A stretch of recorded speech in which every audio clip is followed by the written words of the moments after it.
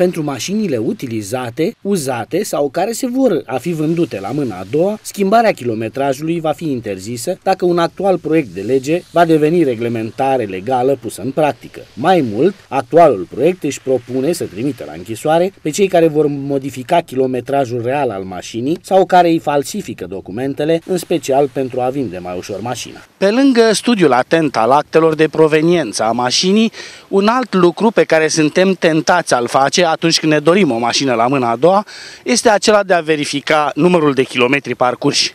Apariția unei legi privitoare la uh, obligativitatea de a nu da kilometrajul înapoi de către vânzător este benefică deci pentru cei care își doresc mașini la mâna a doua. Închisoarea pentru falsificatori nu rezolvă însă o problemă. Cum pot eventualii clienți să afle informații certe despre kilometrajul real al unei mașini? Reprezentanții constructorilor ar putea însă accesa bazele de date internaționale ale dealerilor auto și astfel să se verifice istoricul mașinii. În multe țări ale lumii, falsificarea bordului unei mașini este considerată infracțiune și se pedepsește cu închisoare.